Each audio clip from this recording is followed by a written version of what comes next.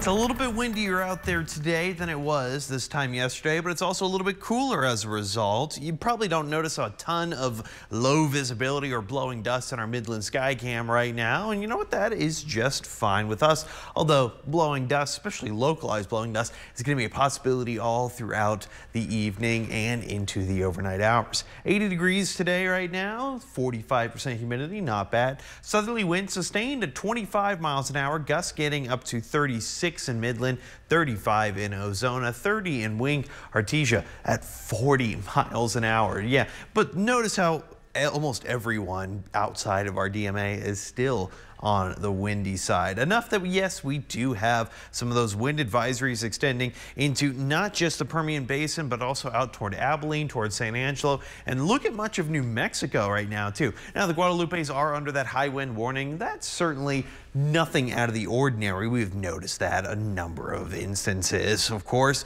visibility wise, actually not being reduced, uh, at least not by much in most areas, still between 9 to 10 miles of visibility. So that is certainly good news. In terms of activity on radar, limited as could be. Nice clear skies, minimal activity, no rain chances coming in the way either. Overnight tonight, I have our low temperatures kind of sticking around those lower 60s, certainly well above average, but that's what happens when you have that strong wind coming in from the south, causing a lot of that blowing dust. So strong gusts still expected throughout tomorrow morning and even into the evening. So yeah, you might have to refill that washer fluid on your car and two hands on the wheel just because it is going to be a little bit rough out there. In terms of temperatures though, very similar to what we saw yesterday and what we're seeing today. I have highs getting up to about 83, good enough for a medium-sized iced coffee. But all right, Halloween is literally two days away. Are we going to get out of these, you know, high highs in the 80s and kind of go back down into the 70s where we should be?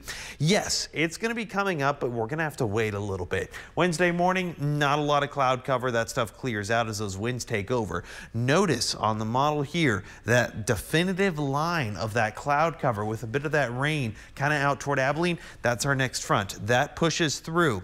Then it's going to stall out in the south and try to move its way back up. So Thursday, especially for Halloween, you're not going to see rain chances, but we are going to see those rain chances make a comeback by Friday evening. Now, we're not looking at anything too terribly widespread, but we are going to see even on Saturday the chance for even some isolated to even severe thunderstorms taking place during during that time. Temperature wise, well, we cooled down a decent amount. Look at that 70s during the during the day. Yeah, I'll take it. Then we kind of just get stuck with a little bit of rain until our next front comes through, which knocks us down all the way into the 60s for the highs. Wow. All right, I'll take it. Lily Beth.